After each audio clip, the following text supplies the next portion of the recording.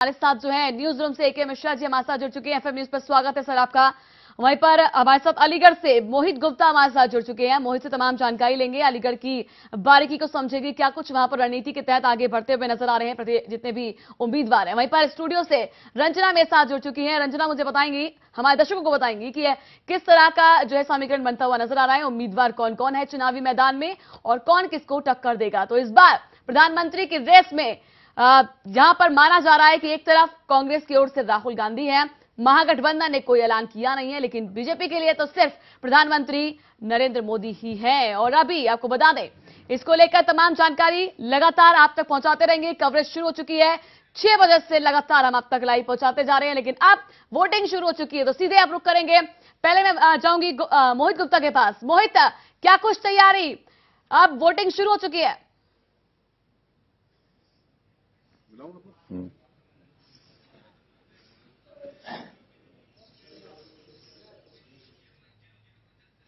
मोहित आप तक आवाज़ पहुँच आपके पास आऊँगी लेकिन पी चिदम्बरम क्या कुछ कह रहे हैं सुनेंगे इस वक्त। कैसा मरगा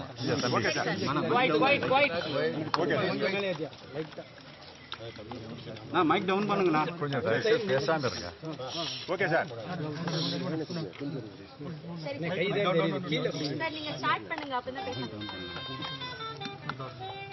இந்த நாள் நல்ல நாள்.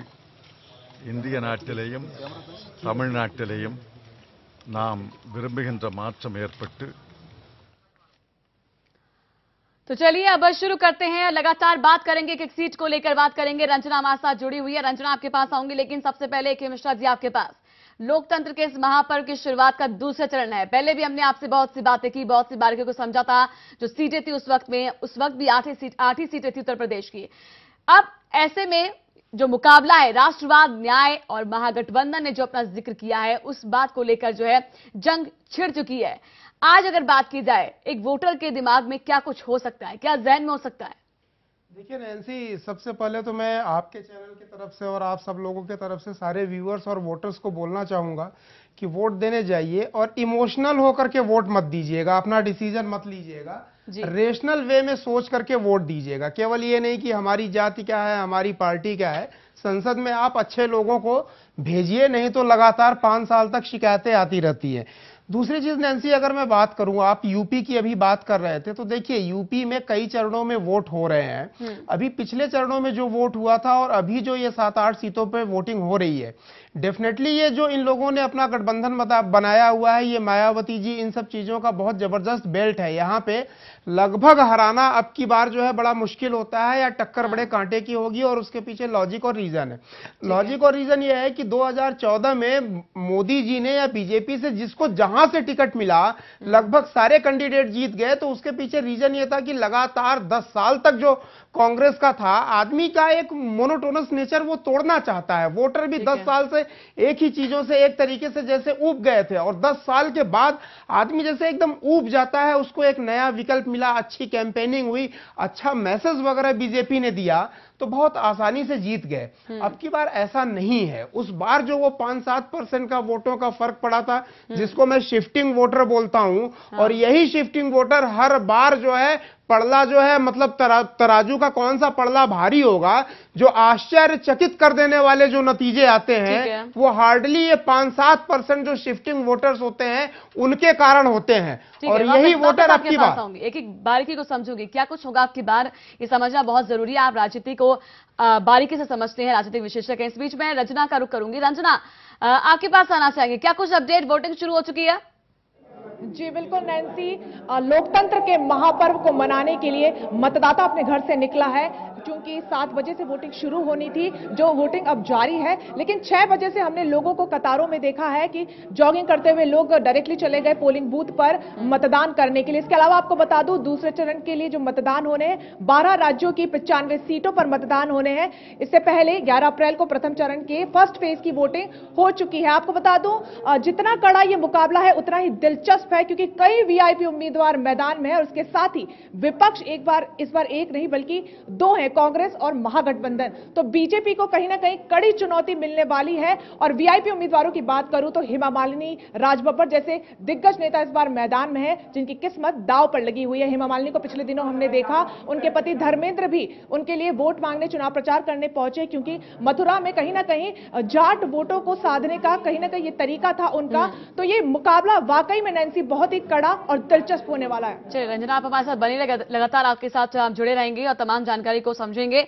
अलीगढ़ से हमारे साथ जो है मोहित गुप्ता जो है, जुड़े हुए हैं, उनके पास वापस जाऊँगी, लेकिन ए के मिश्रा जी अब एक एक सीट को आंकड़ा बहुत ज़रूरी है, लेकिन उससे पहले जम्मू कश्मीर की बात करें, बिहार की बात करें, उत्तर प्रदेश की बात करें, कर्नाटक की बात करें, तमाम जगहों पर कंपटीशन बहुत कड़ा दिखाई दे रहा है। देखिए नैन्सी मैंने आपको बताया और मैं लगातार ये पिछले पाँच सालों से बोलता जा रहा हूँ कि जो राजनीति पहले हुआ करती थी due to certain reason certain reason मतलब किसी पार्टी का मैं इसमें योगदान नहीं मानूँगा। टेक्नोलॉजिकल डेवलपमेंट जो ह्यूमन काइंड ने किया है साइंटिस्ट ने किया है हाँ। उसके कारण बहुत बदलाव आ गया है। बदलाव ऐसे आ गया है आज के पंद्रह साल बीस साल पहले जाइए अखबार तक नहीं पहुँचते थे गाँवों में और शहरों की भी मैं बात कर रहा हूँ तो लोग वहाँ पे वहाँ पे जो वोटिंग पैटर्न होता था अलग होता था। कांग्रेस के लगातार राज करने का एक कारण भी ये था कि सूचना क्रांति इतनी नहीं थी तो दूसरे अच्छे विकल्प क्या हैं ये लोगों को पता नहीं चल पाता था। ठीक है। आज सिचुएशन एकदम बदल गई है। सूचना क्रांति के कारण हर वोटर के हाथ में सारी इंफॉर्मेशन रहती है और वो अपना डिसीज़न जो है स्वयं लेता है। पहले तो ये होता था गाँव के एक मुखिया या दो तीन बड़े लोगों ने जिसको बोल दिया इनको वोट देना है वो देना है। आज क्या है एक ही फैमिली में वोट भी बटे हुए हैं उसके पीछे रीजन है। रीजन ये है कि इंसान अपने आप में एक बड़ा अनोखा टाइप का जो मतलब हर आदमी का अपना व्यक्तित्व होता है डिसीज़न मेकिंग प्रोसेस होता है। और हर आदमी के पास अगर इंफॉर्मेशन है तो वो अपना डिसीज़न जो है स्वतंत्र तरीके से लेता है। हाँ। सबसे बड़ी स्वतंत्रता अपने देश में ये आई है डिसीज़न लेने की सूचना क्रांति के कारण। ठीक है। ऐसा नहीं कि गाँव के मुखिया ने बोल दिया तो सब लोगों ने एक को ही वोट दे दिया।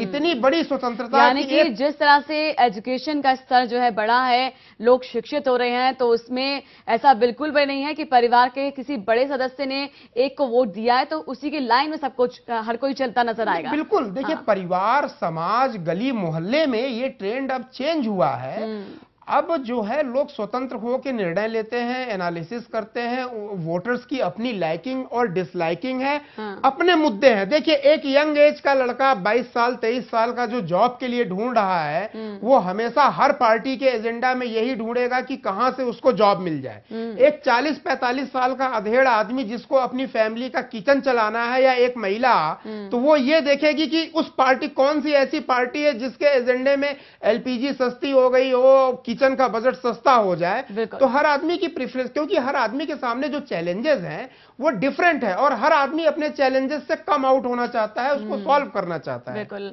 और वहीं पर जो वृद्ध लोग हैं वो ये सोचते हैं कि हमें पेंशन मिल जाए चाहे और जो पेंशन की लिए मैं कल एक घर गई थी ए के मिश्रा जी और उस घर में मैंने ये पाया कि वो पेंशन के लिए लगातार अधिकारियों से बात कर रही हैं कोशिश कर रही हैं कि उनको पेंशन मिल जाए। वृद्ध वो महिला थी लगातार मैं उनसे पूछने की कोशिश करती रही क्या आपने अप्लाई किया? क्या आपने लोगों से बात की? उन्होंने कहा कि हम तो सब कुछ कर चुके हैं, हमें तो अब तक पेंशन भी नहीं मिली है। और वो विडो भी थी। तो ऐसे में जो समझे हम ब्यूरोक्रेट्स को जितने हमारे अधिकारी हैं, उनमें कितनी कमी पाई जानी है, जाती है अक्सर। क्या अब मतदाता इसको लेकर भी सोचेगा कि भाई जमीनी जो चीज़ें हैं, जो जमीनी हमारे घर की जो चीज़ें हैं, क्योंकि एक मतदाता अगर देश के बारे में सोचता है तो वो पहले ये भी सोच रहा है कि मेरे घर के लिए या जो उम्मीदवार है, क्या कुछ दे सकता है। टेंसी ऐसा नहीं है। मेरा विचार यहाँ पे बड़ा मुख्तलिफ़ है। मैं आपको बताऊँ मैंने अभी एक टर्म यूज़ किया था वोटरों से अपील की थी। आप इमोशनल डिसीज़न लेकर के जो है वोट मत दीजिए कि भाई ये हमारी पार्टी है ये हमारी जाति का है हमारी धर्म का है। आप अपने यहाँ बेस्ट कैंडिडेट को मैंने रेशनल वर्ड यूज़ किया था। है क्या? सत्तर साल से यही प्रॉब्लम चल रही है। हाँ। और देखिए रिस्पॉन्सिबिलिटी क्या है? गवर्नमेंट ने एक सिस्टम बनाया है तो सिस्टम की मोरल रिस्पॉन्सिबिलिटी ये है कि वो डोर स्टेप पे जाके सर्विसेज़ प्रोवाइड करे Right. और यहाँ तो उल्टा ही है आपको सर्विस लेनी है तो भी आप जाओ आपको रिटर्न भरना है तो भी आप जाओ सरकार के पास सरकार को पैसे देने हैं तो आप जाइए तस्वीरें जो हैं उसको भी दिखाते आते हैं के मिश्रा जी तस्वीरें इस वक्त रजनीकांत वोट डालने के लिए पहुँचे हैं तस्वीरों में नज़र आ रहा है वोट डालने के लिए पोलिंग बूथ पर पहुँच चुके हैं और अपने मताधिकार का इस्तेमाल यहाँ पे करेंगे तो यही बहुत दिलचस्प है ए के मिश्रा जी जब भी कोई दिग्गज वहाँ पर पहुँचता है पोलिंग बूथ पर एक अच्छा मैसेज होता है नहीं डेफिनेटली ये अच्छा मैसेज होता है और देखिए एक चीज़ और बता दूँ। खैर रजनीकांत जी तो बहुत मतलब ऑनेस्ट हैं बाई कैरेक्टर वगैरह देखा जाए तो ये एक बहुत अच्छी चीज़ है। लेकिन मैं ये बोलता हूँ कि दिग्गजों को ज़रूर जाना चाहिए और इनके ऊपर एक मोरल प्रेशर भी होता है। मान लीजिए कोई पार्टी का एक बहुत बड़ा नेता है वो खुद ही अपने उसमें वोट देने नहीं गया तो उसको हक नहीं है कि वो दूसरों को बोले या मोटिवेट करे कि आप वोट वोट देने जाइए या वोट मांगे। तो ये चीज़ें बड़ी पॉजिटिव होती हैं। जब दिग्गज लोग निकल के जाते हैं समाज के अग्रणी लोग जाते है। हैं। तो उनको देख के दूसरे लोग भी मोटिवेट होते हैं और है। मैं इन कदमों का समर्थन करता ठीक है। अलीगढ़ से हमारे साथ मोहित गुप्ता जुड़ चुके हैं और लगातार बने हुए हैं। उनके पास जाऊँगी रुख करूँगी। मोहित अलीगढ़ में क्या तस्वीरें नज़र आ रही हैं? किस तरह की तैयारी की गई है वहाँ पर इलेक्शन कमीशन की ओर से? प्रशासन की पूरी तरीके से इलेक्शन कमीशन द्वारा पूरी तैयारी की गई है लेकिन कल की जो हुई बारिश से कहीं कहीं जल भराव की स्थिति पैदा हुई है जहाँ वोटर वोट डालने जाएँगे वहाँ जल भरा हुआ है रास्ते में बहुत ज़्यादा की, कीच हो रखी है जिससे अब देखना चलाता है कि अब अच्छा खासा धूप निकला हुआ है। धूप निकलने के बाद मौसम में जैसे जैसे राहत आएगी वैसे वैसे मतदाताओं की भीड़ बढ़ती जाएगी। वैसे बता दें अलीगढ़ में अठारह हज़ार अठारह हज़ार सत्तावन हज़ार कुछ वोटर हैं। और तीन हज़ार छब्बीस तीन हज़ार छब्बीस जो है वोट बूथ संख्या जो है बनाई गई है वोट डालने के लिए। और त्रिकोणीय मुकाबला यहाँ पर इस बार देखने को मिल सकता है क्योंकि बीजेपी से खड़े हुए हैं सतीश गौतम जी और राष्ट्रीय लोकदल से और राष्ट्रीय लोकदल गठबंधन और बसपा के प्रत्याशी हैं अजीत बाल्यान और वहीं कांग्रेस से चौधरी बीरेंद्र सिंह। तो समाजवादी प्रत्याशी ने दीपक चौधरी को मैदान में उतारा है। अब देखना यह होगा कि त्रिकोणीय मुकाबला में जीत किसके सर दर्ज करती है। ठीक है, यहाँ पर जो है बीजेपी ने अपना सिटिंग एमपी जो है वो चुनावी मैदान में उतारा। फिर से वहीं पर भरोसा जताया गया है बीजेपी की ओर से। किस तरह का समीकरण समझे यहाँ पर मोहित? क्योंकि जनता क्या कुछ सोच के यहाँ की वोट डालने के लिए जाएगी। पहले तो ये कहा जा रहा था कि एक पैराशूट कैंडिडेट लेकर आ गई बीजेपी। लेकिन इस वक्त कुछ जो तस्वीर है अब तो हम ऐसा नहीं कह सकते, क्योंकि सतीश गौतम जो है अलीगढ़ सीट से, वो पहले भी चुनावी मैदान में जीत कर आ चुके हैं, अब दूसरी बार भरोसा जता दिया इनके ऊपर। देखिए सबसे बड़ी बात जी मैं बता दूँ आपको कि सतीश गौतम जी का जितना विरोध इस क्षेत्र में हुआ है शायद ही इससे पहले कहीं नहीं हुआ। हमने वहाँ पर जाके बात भी की थी गाँव वालों से बात की थी हाँ। तो निकल के सिर्फ़ और सिर्फ़ एक यही बात सामने आती है कि सतीश गौतम इस प्रत्याशी नहीं होने चाहिए थे। लेकिन अगर पूछा यही सवाल अगर पूछा जाता है प्रधानमंत्री कौन तो उनकी जवाब पर तुरंत नाम आ जाता है मोदी। लेकिन चूँकि अलीगढ़ में साढ़े तीन लाख मुस्लिम है एससी वोट जो है चार लाख है तो देखना होगा कि अगर मुसलमान वोट कहाँ परिवर्तित होता है। वहीं अगर बात करें हम जाट वोटरों की तो जाट बोर्ड लगभग साढ़े तीन लाख है और जहाँ वैश्य समाज का वोट है जिसमें ब्राह्मणवादी क्षेत्र जिसको कहा जाता है, वो सात लाख वोटर है। ठीक है। मोहित वापस आपके पास आऊँगी। कि मिश्रा जी, अब एक एक सीट को लेकर समझने की कोशिश करेंगे। अलीगढ़ का मुकाबला, सतीश गौतम और अजित बालियान वहाँ पर हैं, अनित बालियान वहाँ पर हैं और वहीं पर कांग्रेस की ओर से चौधरी विजयेंद्र सिंह। जैसा कि मोहित बता रहे हैं कि उन्होंने जाकर देखा, लोगों से बात की, सतीश गौतम के चेहरे को नहीं चाहते वो। वो कह रहे हैं कि हमारे बीच में ये कभी नहीं आए हमें इनसे क्या विकास की उम्मीद की जाए ये कैंडिडेट नहीं होना चाहिए। लेकिन दूसरी बात मोहित ने ये कही कि अगर प्रधानमंत्री किसी को देखना है तो वो है नरेंद्र मोदी। नैन्सी देखिए इस केस की अगर एनालिसिस की जाए ना तो मैंने कई बार ये बोला है। अब की बार बीजेपी के लिए चैलेंज क्या है? अब की बार बीजेपी के लिए चैलेंज ये है कि पिछले पाँच साल के चीज़ों को वो प्रूव करे। और जब आप ग्राउंड लेवल पे जाते हैं तो फीडबैक आपको रियल में मिलता है। टेलीविज़न पे भले ही जो भी रहा हो।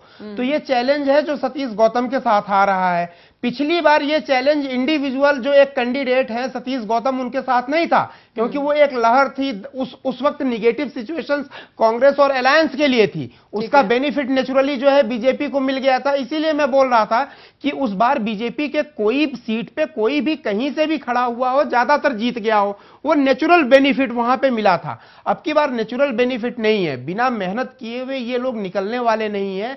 इसीलिए मैं बार बार बोल रहा हूँ कि मार्जिन श्रिंक करेगा क्योंकि कंपटीशन अब की बार टाइट हो गया है। अब की बार पसीना बहाना पड़ेगा लोगों को कन्विंस करना पड़ेगा।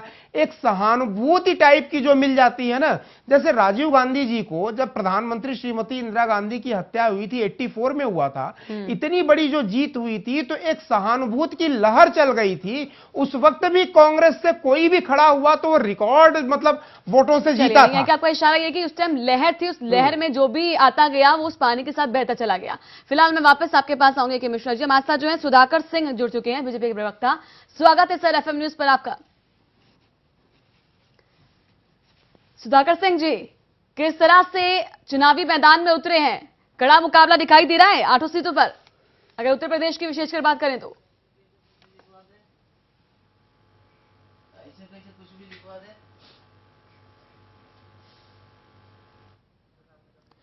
सुधाकर सिंह जी, आप तक आवाज़ पहुँच रही है मेरी? चलिए, वापस आपके साथ जुड़ेंगी और शायद कुछ टेक्निकल एरर है, उसको दूर करने की कोशिश अब तक हम करते हैं। यहाँ पर इस वक्त तस्वीरें जो हैं, सामने आती जा रही है बीजेपी के कैंडिडेट बेंगलुरु की तस्वीरें, जहाँ पर बीजेपी के युवा कैंडिडेट वोटिंग करने के लिए पहुँचे हैं। और तेजस्वी सूर्या इस वक्त तस्वीरों में नज़र आ रहे हैं।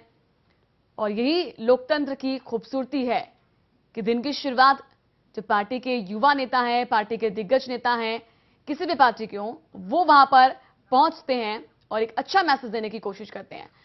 सुधाकर सिंह हमारे साथ जुड़े हुए हैं, बीजेपी के प्रवक्ता। अगर आप तक पहले मेरी आवाज़ नहीं पहुँची थी तो एक बार फिर से आपका स्वागत करती हूँ।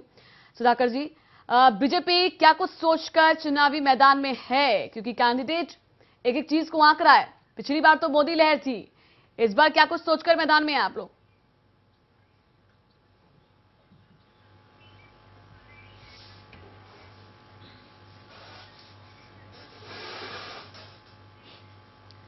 शायद सुधाकर जी के पास मेरी आवाज़ नहीं पहुँच पा रही है और जब तक उनके पास मेरी आवाज़ नहीं पहुँचती, मैं वापस रंजना का रुख करूँगी। रंजना, अभी कुछ अपडेट है क्या इस बीच? जी नैन्सी, मैं आपको बोल दूँ कि प्रधानमंत्री मोदी ने भी ट्वीट कर लोगों से अपील की है कि वो अपने मतदान का इस्तेमाल करें, क्योंकि बहुत ज़रूरी हो जाता है जब हमारा देश मज़बूत हो तो उतना ही ज़रूरी होता है कि हम एक मज़बूत और सशक्त सरकार का गठन करें। इसके अलावा मैं आपको बता दूँ कि उत्तर प्रदेश की आठ सीटों पर मतदान आज होना है। उत्तर प्रदेश वो राज्य जहाँ कहा जाता है कि केंद्र की ज़्यादातर राजनीति का ताना बाना उत्तर प्रदेश में ही बुना जाता है। हालाँकि आठों सीटों पर त्रिकोणीय मुकाबला है, BJP versus Congress. Versus Mahagathbandhan. तो बेहद ही दिलचस्प और बड़ा कड़ा मुकाबला है। इसके अलावा मैं आपको बता दूँ महाराष्ट्र की 10 सीटें जम्मू कश्मीर की दो सीटें और पौंडीचेरी की एक सीटों पर मतदान होगा। उड़ीसा की बात करूँ तो पाँच सीटें तो वहीं त्रिपुरा की एक सीट पर मतदान आज होगा। मतदान शुरू हो चुका है। लगातार तस्वीरों में आप भी दिखा रही हैं और एफएम न्यूज़ लगातार आपको दिखा रहा है लगातार हमारी कवरेज जारी है। रंजना आप हमारे साथ बने रहिए। और ग्राफिक्स को लेकर भी आज तमाम जानकारी लेंगे किस तरह की जो तैयारी हमारे हमने की है वो दर्शकों को बताएँगे कि, कि आखिरकार कौन कौन सा कैंडिडेट किस सीट से खड़ा हो रहा है। इस बीच में आपको जानकारी दे दूँ नगीना सीट से बीजेपी की ओर से डॉक्टर यशवंत सिंह है बीएसपी की ओर से गिरीश चंद्र है कांग्रेस की ओर से ओमवती देवी है। वहीं पर अमरोहा सीट से आपको जानकारी दे दूँ कि बीजेपी की ओर से कंवर कंवर सिंह है बीएसपी की ओर से कुंवर दानिश अली है सचिन चौधरी कांग्रेस की ओर से कैंडिडेट बनाए गए हैं। तस्वीरें भी आप तक देखते पहुंचाते जा रहे हैं जहाँ पर पोलिंग यानी पोलिंग बूथ पर जो वोटर्स हैं वो पहुँच चुके हैं। भारी संख्या, सुबह के वक्त में ही भारी संख्या दिखाई दे रही है। इस बीच बुलंदशहर लोकसभा सीट को लेकर आपको जानकारी दे दूँ। बीजेपी की ओर से डॉक्टर भोला सिंह चुनावी मैदान में बीएसपी की ओर से योगेश वर्मा है। कांग्रेस से बंसी पहाड़िया को, जो कि पूर्व विधायक रह- चुके हैं, उनका उतारा है। तो ये तमाम सीटों को लेकर हम आपको जानकारी देते चलिए, सभी को बना के रखेंगे। इसी बीच